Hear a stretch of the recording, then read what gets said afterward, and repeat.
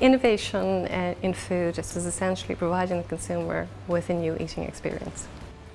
We were looking at the interactions between proteins, carbohydrates such as starches, and it became evident as we began to understand the interactions that there were opportunities for creating a whole new structure and a whole new nutrient content in a snack that really isn't in the marketplace at the moment.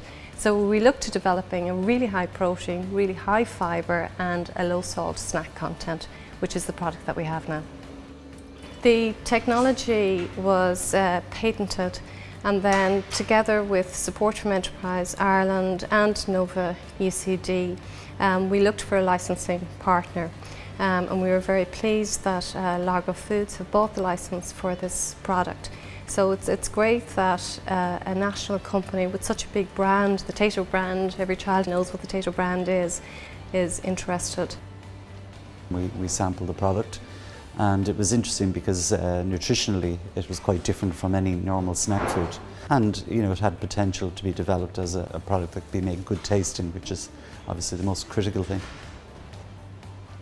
The research that we conducted to develop this technology has come from UCD's Institute of Food and Health. And in this institute there is a whole array of scientific skills uh, culminating ultimately in what we consider smart science underpinning good food for the consumer. So we go all the way from very fundamental science right through to prototypes for the consumer. We have our own team in Largo, our own new product development team, but we're probably very focused on actually delivering products to the marketplace. And the advantage of working with UCD is that that's the kind of work that can be done by university, speculative work.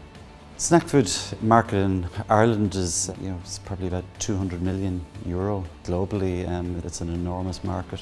So if you have a, an innovative product that succeeds, fairly wide audience that you can reach. We're hopeful the consumers will like the product, so we would hope a bright future for a healthy snack.